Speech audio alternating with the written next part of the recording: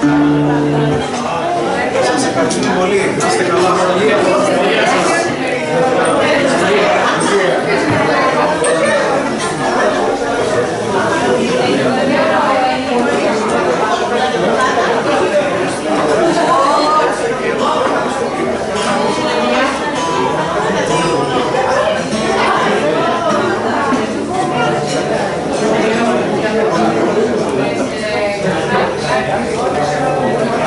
Parabéns.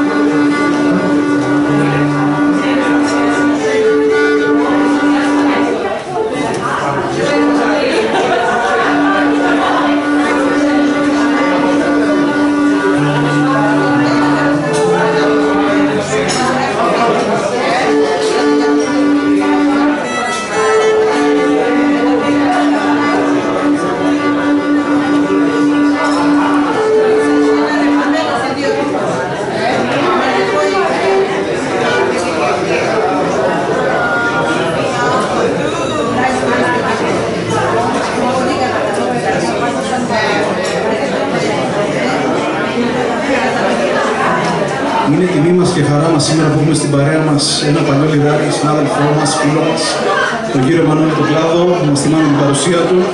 Ε, να έρθετε να παίξουμε μια κοντιλιά.